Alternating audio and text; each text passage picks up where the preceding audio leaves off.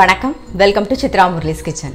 இன்றைக்கி என்ன பார்க்க போகிறோன்னா பாவக்காய் பிட்டில் அப்புறம் அவரைக்காய் தேங்காய் போட்ட கறி இல்லை பொரியல் அப்படின்னு சொல்லலாம். இந்த பிட்டில் வந்து கத்திரிக்காய் இல்லைன்னா பாவக்காய் ரெண்டுத்தில் தான் பண்ணணும். அப்போ தான் நல்லாயிருக்கும். இன்றைக்கி நான் வந்து பாவக்காயில் பிட்டில் பண்ண போகிறேன் அதுக்கு என்ன வேணுங்கிறத சொல்கிறேன் பாருங்கள் ஃபஸ்ட்டு வந்து அடுப்பில் ஒரு பாத்திரம் வச்சுருக்கேன். அதில் வந்து எண்ணெய் விட்டுக்கிறேன். எண்ணெய் காயிட்டோம்.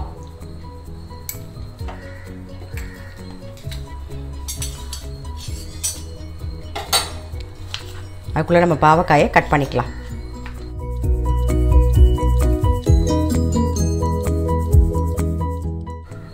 பாவக்காய் கட் பண்ணியாச்சு. இந்த பக்கம் எண்ணெயும் நல்லா காஞ்செடுத்து. எண்ணெயில் கொஞ்சம் பாவக்காயை வதக்கிக்கலாம் ஃபஸ்ட்டு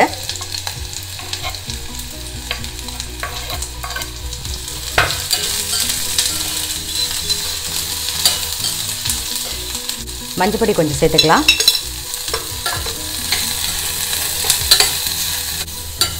பாவக்காய் எண்ணெயில் கொஞ்சம் வதங்கிடுத்து இப்போ கொஞ்சமாக தண்ணி விட்டு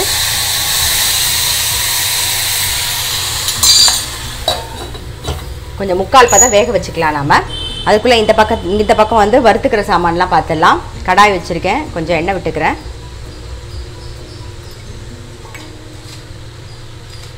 ஒரு சின்ன கட்டி பெருங்காயம். வரமிளகா ஒரு அஞ்சு வரமிளகா. மிளகு ஒரு பத்து மிளகு. கடலைப்பருப்பு ரெண்டு டீஸ்பூன் கடலைப்பருப்பு. தனியா மூணு டீஸ்பூன். இப்போ வ- நல்லா வறுபட்டுருது இப்போ வந்து தேங்காய் வந்து நல்ல ஒரு கரண்டி தேங்காய் சேர்த்துக்கலாம் நாம். தேங்காவோட ஈரப்பதம் போனால் போதும். அந்த அளவுக்கு வறுபட்டால் போதும். ரொம்ப செவக்க வறுக்க வேண்டாம். தேங்காவோட ஈரப்பதம் போய் நல்லா வறுபட்டுருது நம்ம வந்து ஆஃப் பண்ணிடலாம். கொஞ்சம் ஆறுனதுக்கு அப்புறமா இதை பொடி பண்ணின்னு வந்துடலாம். பவுடர் பண்ணிட்டு. நம்ம வறுத்து வச்சுருந்த சாமான் வந்து நல்லா ஆறிடுத்து பொடி பண்ணின்னு வந்தாச்சு. இந்த பக்கம் பாவக்காயும் ஒரு முக்கால் பதத்துக்கு நல்லா வெந்தெடுத்து. நான் வந்து ஒரு சின்ன ஒரு சின்ன லெமன் சைஸில் புளி வந்து கரைச்சி வச்சுருக்கேன். ஸோ அதை விடுறேன்.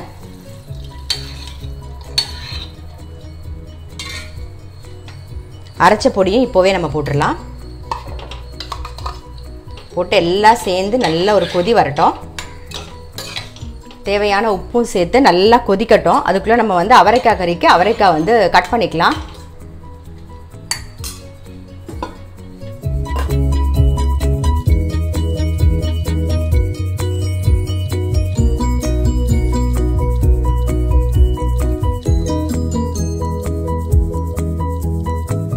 புளி தண்ணி சேர்த்து நல்லா கொதிச்செடுத்து நம்ம வெல்லம் சேர்த்துடலாம். இப்போ நம்ம கறிக்கு வந்து அவரைக்காயும் கட் பண்ணியாச்சு ரெடியாக இருக்குது அதுவும்.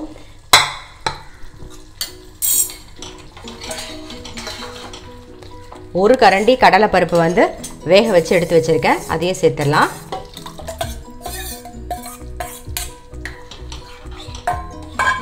இதோட வந்து ஒரு கைப்பிடி வேர்க்கடலை நான் வேக வச்சுருக்கேன். வேர்க்கடலையும் சேர்க்கலாம் இல்லைனா கொண்டக்கடலை இருந்தால் அது கூட சேர்த்துக்கலாம். எல்லாம் சேர்ந்து நல்லா ஒரு கொதி வரட்டும். இந்த பக்கம் வந்து நம்ம அவரைக்காயை வதக்கிக்கலாம்.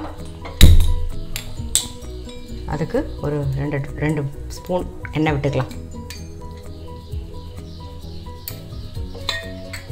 இப்போ அவரைக்காய் பொரியல் பண்ணிடலாம். கடாயில் எண்ணெய் வச்சு விட்டுருந்தோமா நல்லா காஞ்செடுத்து. கடுகு உளுத்தம்பருப்பு கொஞ்சம் கருவேப்பிலை மஞ்சப்பொடி கொஞ்சம் சேர்த்துக்கலாம். கட் பண்ணி வச்சுருக்க அவரைக்காய்.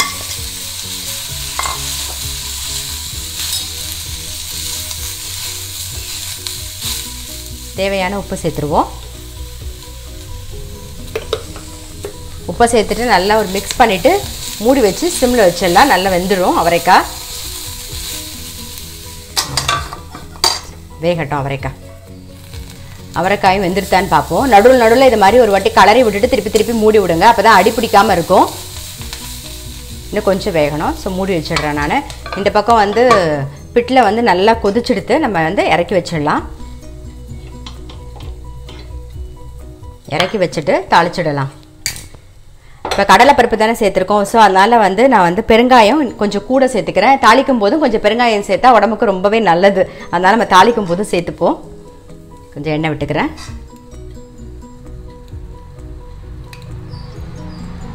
வெறும் கடுகு மட்டும் தாளிச்சா போதும். எண்ணெய் காஞ்செடுத்து கடுகு போட்டுடலாம். கொஞ்சம் கருவேப்பிலை கொஞ்சம் பெருங்காயப்பொடி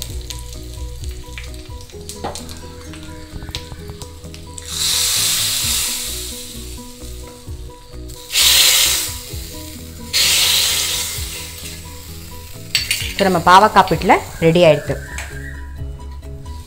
இப்போ அவரைக்காவும் நல்லா வெந்தெடுத்து நல்லா வெந்தெடுத்து இப்போ வந்து தாளிக்கும் போது நம்ம காரத்துக்கு வந்து வரமிளகா இரு- வரமிளகா பிடிக்கும்னா வரமிளகா கூட சேர்த்துக்கலாம். நான் இப்போ வந்து ரெட் சில்லி பவுடர் சேர்க்குறேன்.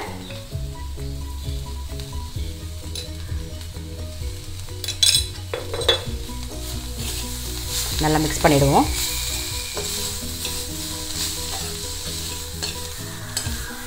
மிளகா பொடி போட்டு நல்லா மிக்ஸ் பண்ணிட்டோம். இப்போ வந்து தேங்காய் சேர்த்துக்கலாம். தேங்காய் கொஞ்சம் பெருங்காய நல்லா மிக்ஸ் பண்ணிவிடும் தேங்காய் வந்து லாஸ்ட்டில் நம்ம பச்சையாக தானே சேர்க்குறோம். அதனால நீங்கள் வந்து காலையில் சாப்பிட்ற அந்த ஒரு வேளையோட அதை முடிச்சிடணும். கறியை. நீங்கள் வந்து எடுத்து வச்சுக்கலாம்னா அது வந்து நல்லா இருக்காது. ஸோ நம்மளுடைய அவரைக்காய் தேங்காய் போட்டால் பொரியலும் ரெடி ஆகிடுது இன்றைக்கி என்ன ரெசிபின்னு பார்த்துருப்பீங்க? பாவக்காய் பிட்டில் அப்புறம் அவரைக்காய் தேங்காய் போட்ட பொரியல் ரெடி பிட்லைக்கு வந்து நீங்கள் பாவக்காய் இல்லைன்னா கத்திரிக்காயில் கூட பண்ணலாம். நான் எப்போவும் சொல்கிற மாதிரி தான் நல்ல சுட சுட சாதத்தில் நெய்யை விட்டு இந்த பிட்லையை பிசைஞ்சு சாப்பிடுங்க. நல்ல செம்ம டேஸ்ட்டாக இருக்கும். அதே மாதிரி தயிர் சாதத்துக்கும் ரொம்பவே நல்லாயிருக்கும் கண்டிப்பாக உங்கள் வீட்டில் நீங்கள் ட்ரை பண்ணி பாருங்கள் நான் அடுத்த வீடியோவில் சந்திக்கிறேன்.